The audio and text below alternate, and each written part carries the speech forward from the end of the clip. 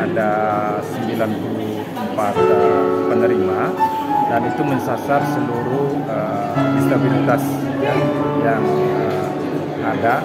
Tidak semuanya disabilitas kita itu di, di, dibantu pada kesempatan ini, tapi kita senantiasa berharap untuk ke, ke depannya dari Kementerian Lembaga Kupang itu untuk memperhatikan kita. Syaratnya memang kita butuh data. Nah, mereka butuh data dari kita dan data itu sebenarnya ada di desa-desa. Ya, beberapa uh, uh, bulan yang lalu kami minta kepada Bapak Camat, kepada Bapak Desa untuk meminta data-data disabilitas yang ada di seluruh uh, Kabupaten Manggarai Timur. Nanti base data itu juga menjadi acuan kita untuk mengajukan ke kementerian terkait dengan atensi atau asistensi rehabilitasi sosial kepada teman-teman uh, atau masyarakat kita yang yang mengalami uh, apa namanya disabilitas.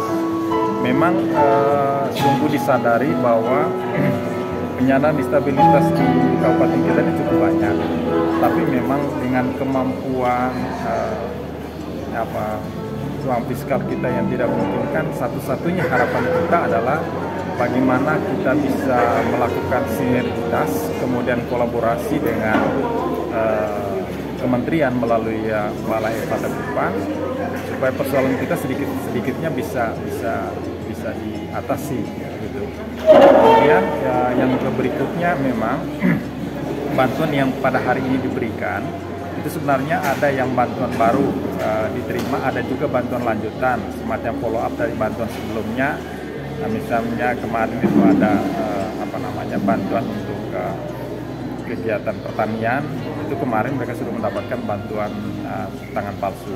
Kemudian ada juga yang tadi uh, bantuan alat-alat pelajar, buku-buku atau kebutuhan uh, apa namanya kebutuhan sekolah itu juga kemarin sudah mendapatkan bantuan uh, kaki palsu.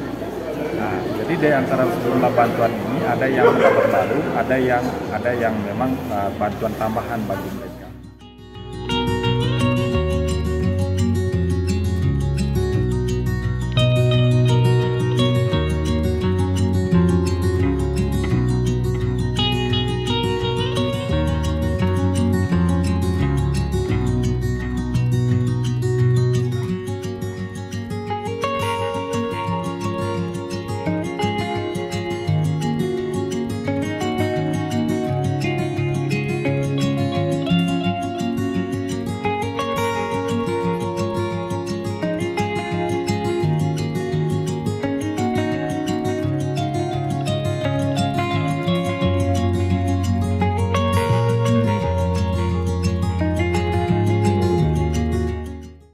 Download Tribun X sekarang.